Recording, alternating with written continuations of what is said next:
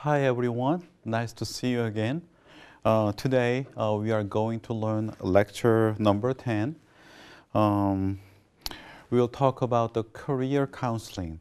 That's one of the, uh, the area in counseling uh, and also the career counseling is important uh, because it uh, covers the whole life span right now. So we will talk about the the many different counseling, career counseling related issue today. Uh, let's take a look at some uh, objective, the lecture number 10. Uh, the first one, we'd like to identify some characteristics of career development. Well, when we talk about the career, we have a tendency to, to think a career as just a career decision. Probably that is related with the Korean culture. Uh, when we talk about the, uh, the career counseling, it is misunderstood uh, in Korean society like only um, just the jilo, jido, or ipsi like this. Uh, but actually, the career development uh, is, is covering the whole lifespan actually. So uh, we'll talk about some characteristics of career development. The second one is compare different theories explaining career development. Well, we uh, reviewed uh, many different issues with major conceptual the framework. However, this uh, career counseling theory particularly has very specific uh, career uh, counseling theories like here, trait factor theory, personality type theory, and psychodynamic uh, and lifespan and social cognitive theory. So it's pretty uh, different theories compared to the general counseling theories. So we will talk about uh, these different uh, the career theories today. And finally, we will talk about how to use career-related information for uh, our client. So probably how can we uh, provide some career-related information and also how can we assess students' ability and students' attitude and students' value and their interest as well. So uh, these are the, uh, the outlines of objective for today. The first slide shows career development throughout the lifespan. Let's take a look at this, uh, the figure here. It shows some uh, development of career issue from early childhood, childhood and adolescent, and early adulthood and adulthood right here. So uh, you may be uh, wondering, wow, is there any career issue in early childhood, even in that period? Uh, yes, because even early childhood, like a preschooler, um, they are still developing their career issue. For example, uh, they have a kind of fantasy. Uh, well, I'd like to be a, a professional uh, uh baseball player. They don't really know about, know about you know, what would be the qualification, what kind of abilities they have to have, what would be their income, and what would be their social uh, status of the professional basketball, uh, baseball player. But they have some fantasy, and based on the fantasy, they develop uh, the interest on them. So even early childhood and childhood, in their level, they have their own career developmental issue. Oh. And adolescent, and also, you know, they are explore, exploring many different career issues. And early adulthood, this is the time that they uh, begin to decide the career path. So they begin to work on a certain the setting, and they still explore. So uh, career development is not only a certain point issue, this is a developmental issue as well. So this is a lifelong process and this involves many different life roles. For example, as a, uh, as, as a child in a family, they observe a father and mother's uh, career. Uh, as a student, they also observe a teacher's and other professions' uh, characteristics. Uh, and as an internship student, they experience many different uh, characteristics and profession.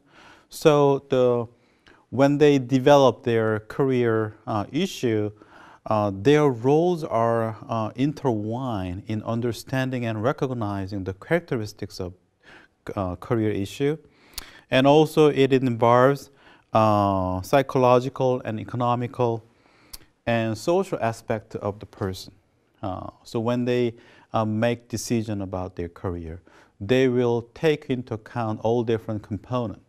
For example, I work at the uh, Department of Education at the College of uh, Education. And we annually accept about 500 students. Uh, and most of them wanted to be uh, a teacher in public school or private school, and or some of them wanted to be some uh, different role like educational specialist anyway. But I would say like more than like 90% of the uh, student in the College of Education uh, wants to be a school. And they made a decision. Uh, they chose that uh, College of Education and their own major. Uh, if you look at these three components here, psychological uh, issue, because they usually show pretty interest in teaching and they are uh, more interested in um, showing uh, and interacting with students. So it shows that their uh, um, psychological characteristics of enjoying uh, working with people and uh, teaching someone else and types of things. And also economical, and because uh, the College of Education is pretty popular major because um, the teacher in Korea uh, has very uh, stability in uh, economy. Uh, their incomes are pretty stable, and uh, the government guarantee, you know, the higher, you know, um, up to like a 63 years old, and so they prefer being a teacher because of economic reason. And also social aspect in Korean society, we still have some uh, respect for the teacher. Uh, teachers are different because teachers are teacher. So uh, when they make decision, they consider like their own interest, like from psychological perspective. They also consider some economic stability and also some social respect. So the career development is are uh, interrelated with the other uh, component as well. So I wanted to stress career development is not only career decision at the high school.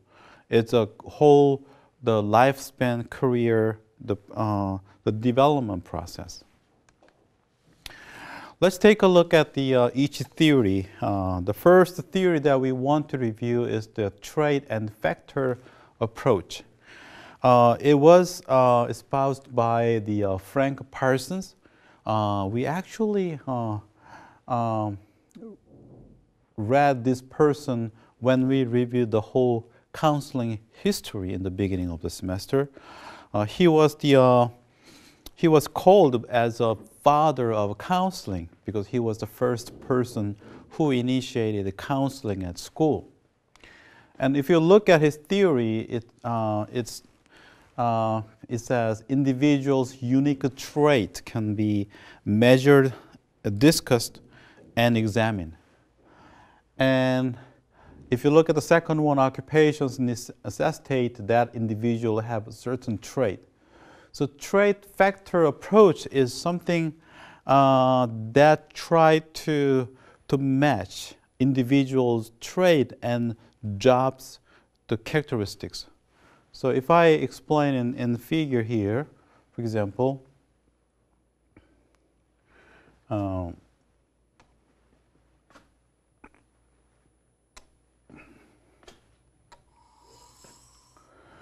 So the trait factor theory is try to match between uh, their trait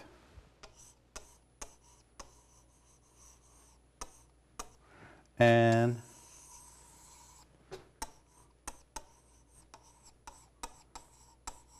factor. So trait is a, is a personal. Uh, and factor is a job characteristic. So uh, the first things in this perspective is to examine what would be a person's trait. This part. What, a what would be a person's interest, their attitude, and their abilities, and their value system. And then also they try to uh, see some other side from job description okay, a certain job has a certain uh, characteristics. So they try to find some matching component. Okay, so uh, the two major things. The first one is to try to examine a person's trait first, and then they try to uh, investigate uh, factors that are some job related information, and they try to match so if we match well, so if we overlap much more like this, and then a person will be uh, uh, satisfied by the, the, by the job. So if you look at here, uh, the better the ability of the individual to match his or her trait to occupation, the greater the likelihood the individual will have success and feel satisfied. So they try to increase the amount of overlap between a person's trait and the job factor. That is the trait and factor approach. It's, sometimes it's called matching theory. The next one is, uh, is similar to the uh, trait and factor theory, but it's a personality theory. Uh, it's by John Holland, and he uh, categorized six different personality type. So sometimes it's called uh, type theory. So if you look at this hexagon here, uh, it shows six different uh, personality.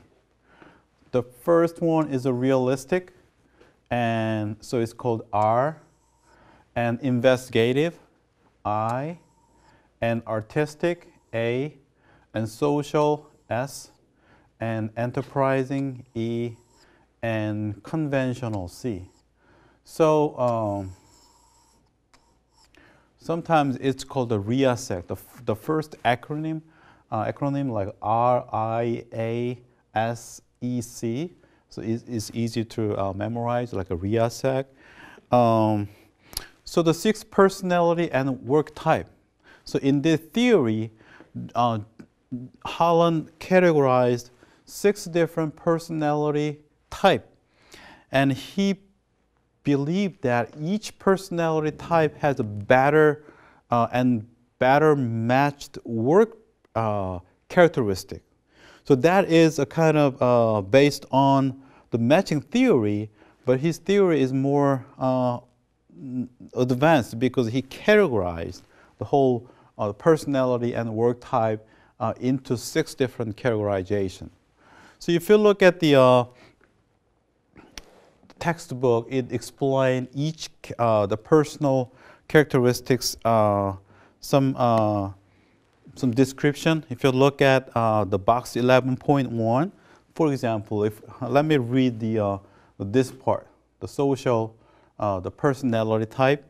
the social people are nurturer, helper, and caregiver and have high concern for others. So they are interested in uh, giving something to others.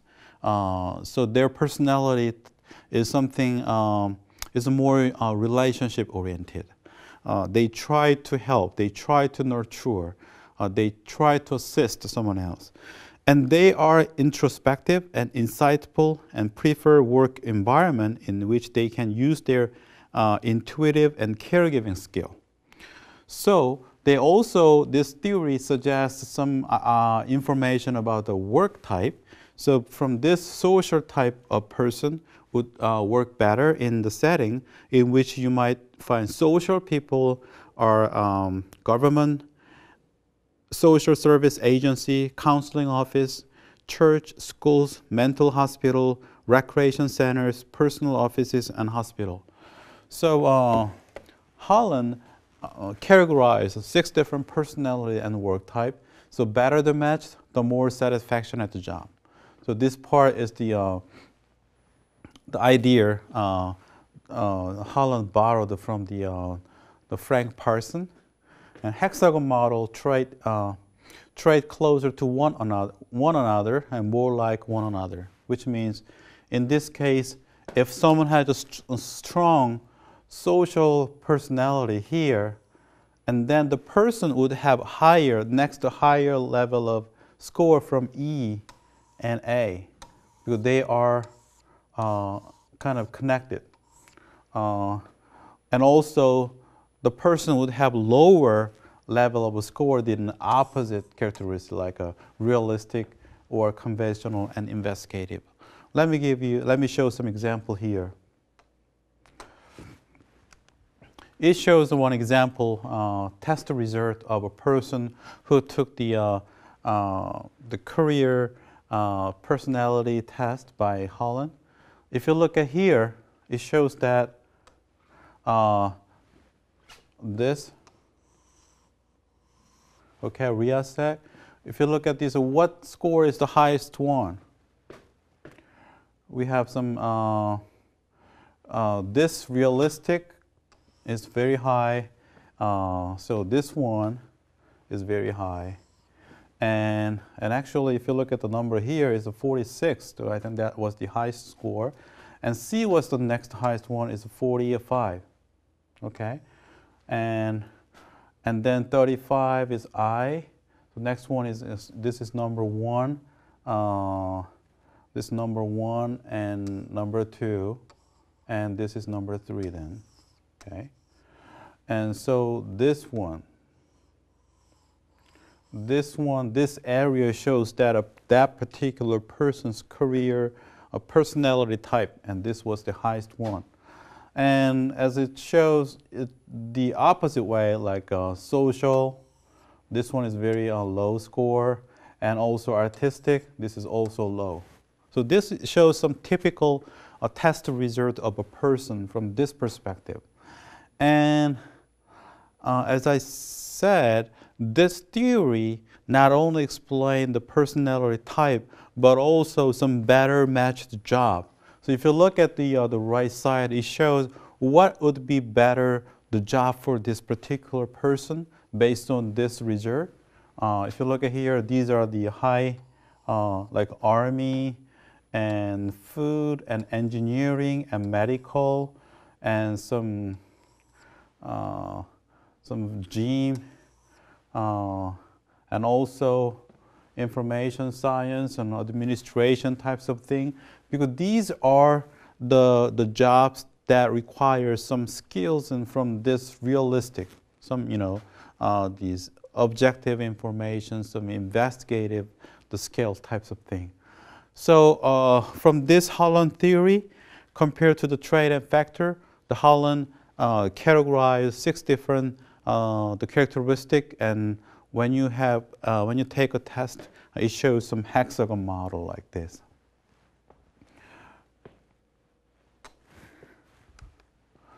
And next one is psychodynamic uh, the theory. And one of the person in, in, in this perspective is Anne Roe and she believed uh, a person's career decision are actually influenced by the past experience.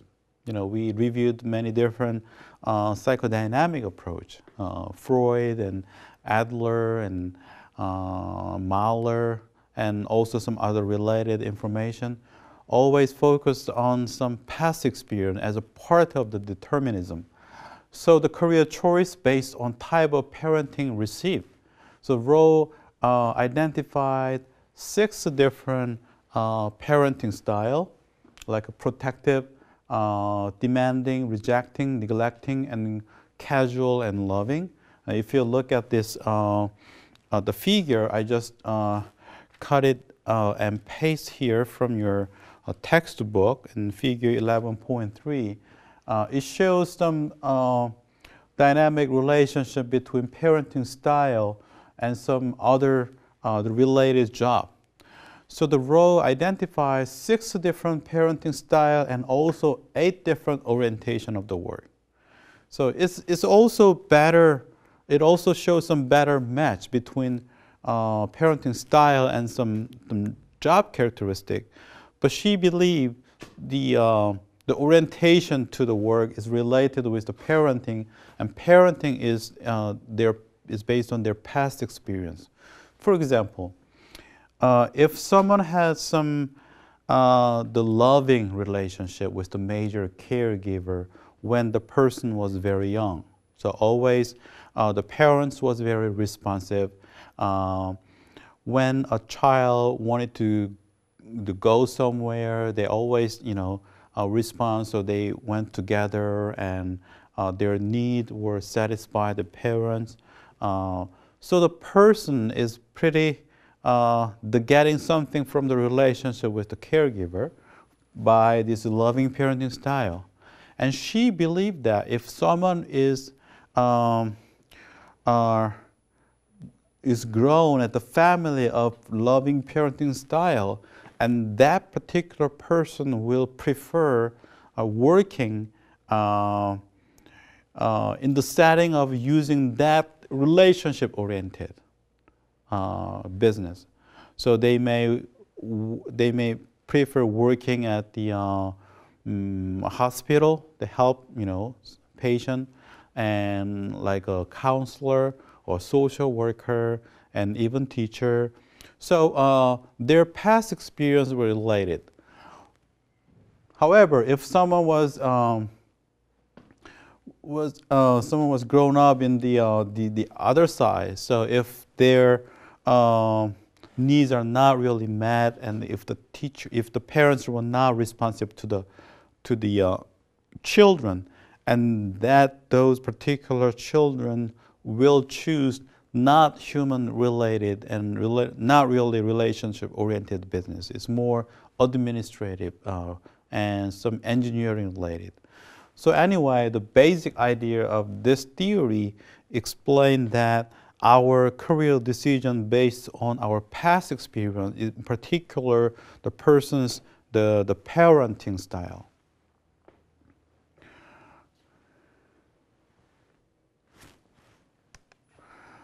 And the next theory is uh, one of the, uh, the major theory in career counseling right now. It's called uh, lifespan uh, approach by Donald Super. Uh, Donald Super is um, major figure right now in career counseling, and our the Korean educational uh, system adopted his theory. So that's why uh, now we teach some career-related uh, education even in elementary throughout the uh, middle and high school and college. Let's take a look at the characteristic here. Career development is an ongoing, continuous, and orderly, uh, which means even earlier age. You know, at the first slide, actually I adopted idea from the uh, Donald Super. So career development is not only one decision-making uh, moment. It's ongoing and continuous. And self-concept is the function and result of career development. So he stressed the uh, career development uh, from self-concept perspective. So he believed that when we make decision, if we have a better uh, concept, if we are confident on, on, doing something, and then that person will, uh, will, uh, will be more likely to choose that particular uh, related job. A change in occupation levels is influenced by many factors. So uh, uh, I will show the, the next figures that you know multiple influence on, on a person's decision making.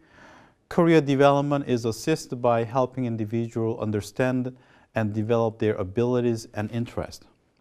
So, um, Super believe that in each stage of our life, and each stage there, uh, there, each stage has different um, task and different role.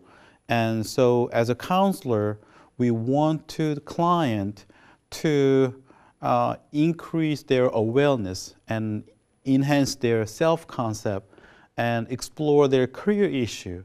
So we facilitate their development in a career way. So that is the major, uh, the, the counselor's role from this perspective. By understanding development, counselors can pick interventions that assist individuals in their career development process.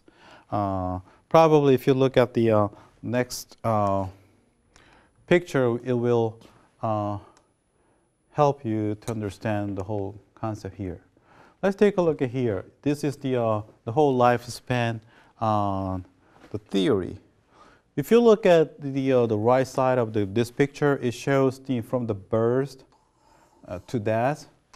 So it, it, this uh, theory explains the whole lifespan from the birth to, uh, like here, the 14. So that this period will be some, you know, like elementary and early middle school. If you look at the uh, here, some characteristic, uh, some fantasy. They have they develop uh, some fantasy about a job, and they also develop some interest a certain field, and they also develop some capacity a certain area. And from middle school uh, to the high school, even uh, the college life is more exploration level. Uh, so they uh, try so many different ways. You know, they experience uh, by observing others, and sometimes they uh, may participate in a certain activity uh, which are related to a certain job. So they explore so many different ways. They could compare what would be the benefit of working in this types of setting. What would be the the disadvantages of working a certain types of job. So they will explore for from 14 to 25, and you know, 25 is the area, uh, the the period that uh, students mm, usually graduate from the college. So this is the time uh, that they uh, start their first job, um, and then so they will start, you know, the establishment of the uh, the career development. Uh, but sometimes, you know, they will be advanced, they will be promoted, and they will change their job into a better uh, status. Sometimes they will be frustrated uh, by experiencing these types of, you know, the both experience. They will, uh, their career development will be consolidated. and 45, if they are able to stay a certain the job, and then they will, uh, you know, innovation or it's not really, you know, uh, enhanced, just a stagnation or some updating. Uh, and finally, after 60, uh, it's more retirement and specialization and disengagement. So the Donald Super shows so the whole spectrum of the career development by suggesting some different career development issue. And the counselor's role is to help a person from this perspective. So if someone has you know, some fantasy and interest and cap capability here, uh, counselor's role is to encourage a person to um, develop a certain uh, the capability and capacity. And from here, exploration. We want to provide lots of uh, like uh, opportunity for the student to experience many different uh, roles. And establishment, you know, there is two possibility, advancement or frustration. We want to provide some positive support for the person who experienced some frustration. And also we want to uh, encourage a person's, you know, the, the progress to a certain uh, level. So it shows that the super uh, theory uh, try to see a person's career development uh, from the whole developmental perspective.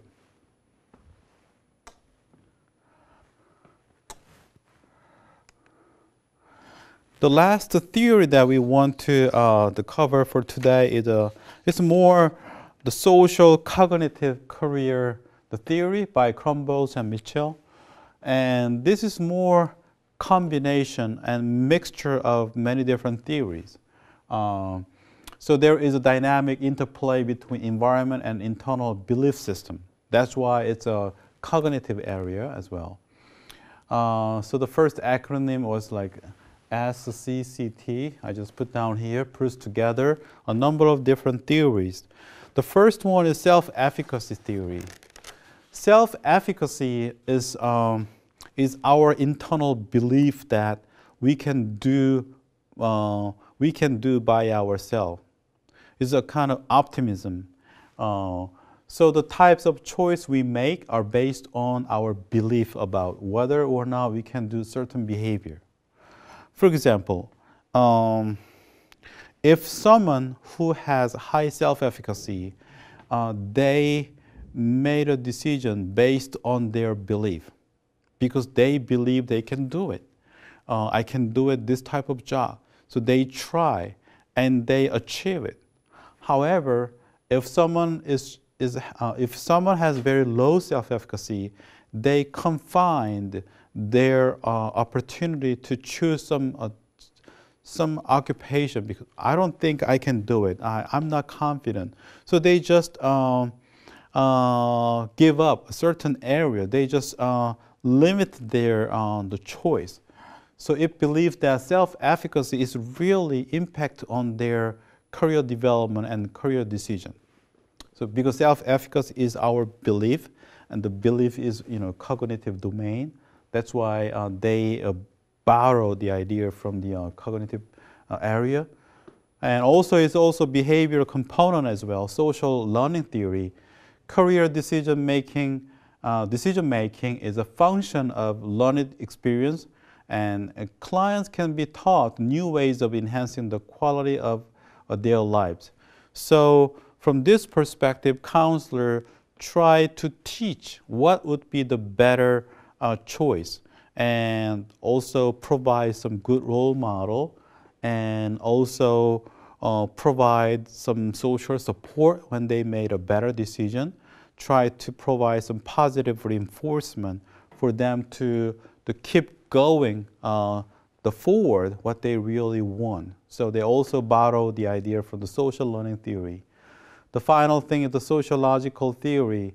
Issues outside of ourselves, such as discrimination, mobility, like a disability and um, of movement, and sexism and other economy affect the types of choices a person has. So this uh, theory also considers some envi environmental influence on a person's uh, the career decision.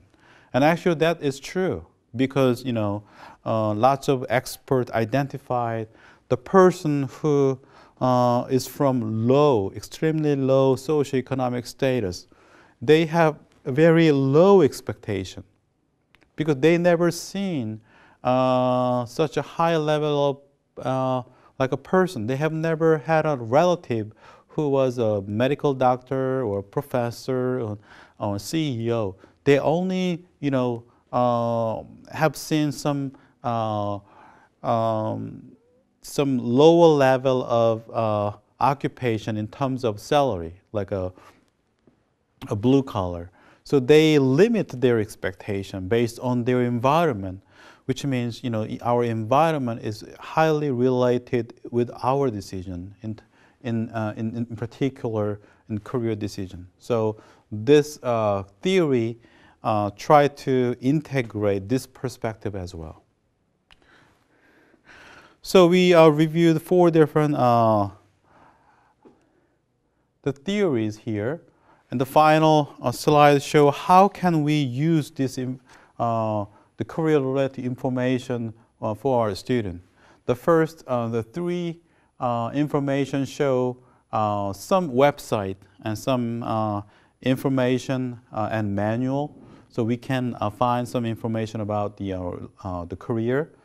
ONET online, on ONET Dictionary of Occupational Title, and Guide for Occupational Exploration, GOE, and Occupational Outlook Handbook, OOH.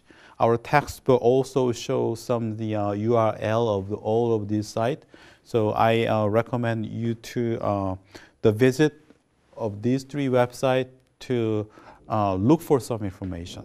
For example, uh, if you are majoring in uh, nursing, uh, if you want to know how much they make, uh, make for that particular job, you can type the nurse, and that, that particular website will show what would be the qualification, what would be the salary level, what would be the uh, you know, educational requirement. So it will show all you know, related information uh, for, for the uh, particular job. Uh, and also we have many different websites, even in Korean uh, website. So I also uh, encourage you to explore some other occupational classification system as well in Korea.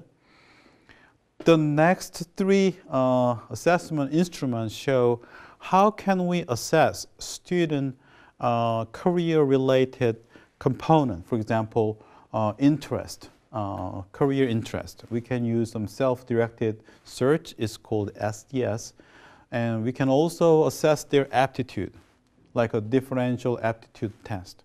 We can also assess their personality uh, by Myers-Briggs type indicator. It's called MBTI.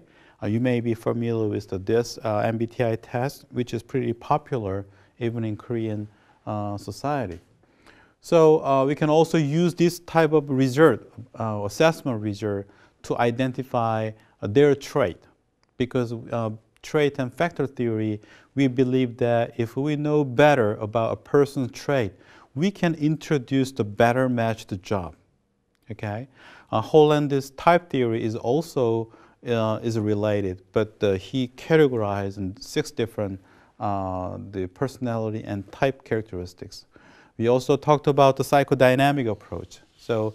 Um, Roe believed that uh, the, a person's past experience in particular parenting style is, is critical.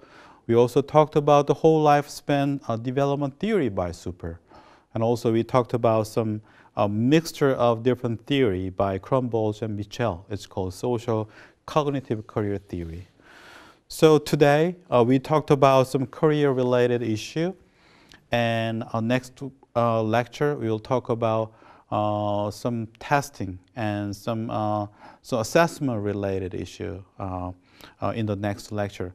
I hope you enjoyed this lecture and uh, if you have any question, please post your question. I hope I'd like to respond to your question.